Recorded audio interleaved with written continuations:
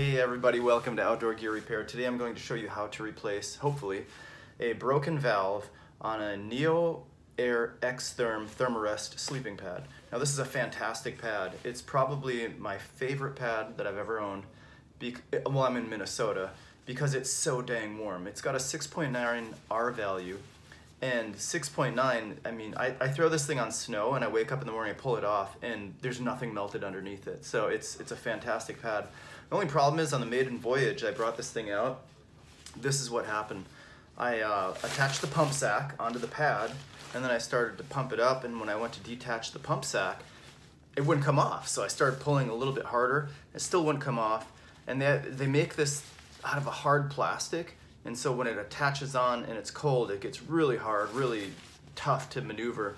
And I pulled really hard and pop, the it ripped the cover of the valve right off. And so now I'm sitting with a a valve on a mattress without the cover, or you know, I can't close the valve anymore.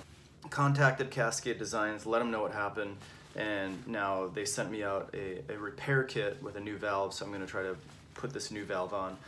Um, just as a caveat, I, I've had this pad before, I had the narrow version, and they used to make this pad with a rubberized plastic here, and it was really soft and supple, and so you could put it on the pad, clung on beautifully, pull it right off, no problems.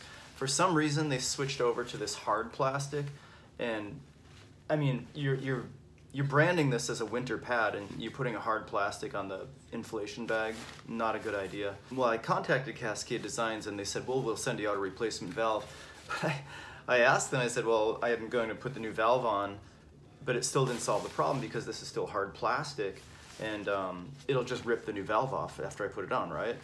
And their response was, well, this is the only kind of bag, or this is the only inflation sack that we have unless you want to buy this kind of a custom one that they build and or that they make and it's like $39.99 and I let them know I said I, I had another version of this with the softer rubberized coupling and they just basically said we don't know what you're talking about so uh, go figure and uh, I'm gonna show you how hopefully how to mitigate the problem of this being way too tight of a fit as well let's get on with it first of all I need to get the old valve out here and you can see how tight of a fit that is, right? So we'll get that out. And that's this piece right here. And what it did is it just pulled right through and you can see where it just ripped right through the plastic coupling right there. Now I need to get this old one out because I'm gonna have to put this one in. Give it a pull here. And there goes a single pop, but you gotta get it past the gasket here. So we're gonna have to pull a little bit harder. I'm gonna try to hold onto this part right here. I don't wanna hold onto the bag and rip through it because this bag might be a little finicky in that sense. All right, there we go. And you can see that's the gasket that kind of locks the air in so it doesn't escape. So now that we've got the old one out, I'm gonna take the new one and they give you a little bit of this lubricant here. And I think a little dab will do you. Like that. Put this one in here. And you wanna line it up so when you put this on, these right here are going to go down right here and over here.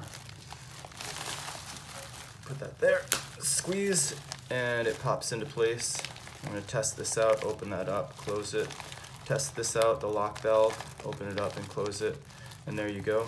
Now to solve this problem here, because remember, this is too tight of a fit, and it's just going to break off the new cap if I let it. What I've decided to do is get out this bad boy right here, and what, I, what I'm doing is just gently, gently, this is key word here, gently, at least scraping around the edge like this.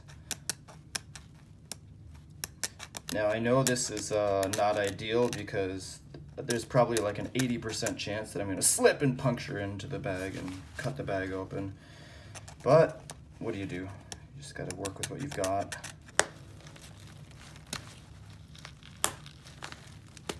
That seems to be a little more reasonable now. Like I can get it on and off with little effort, but it's still uh, secure and snug. Companionship there, so I think we're in business.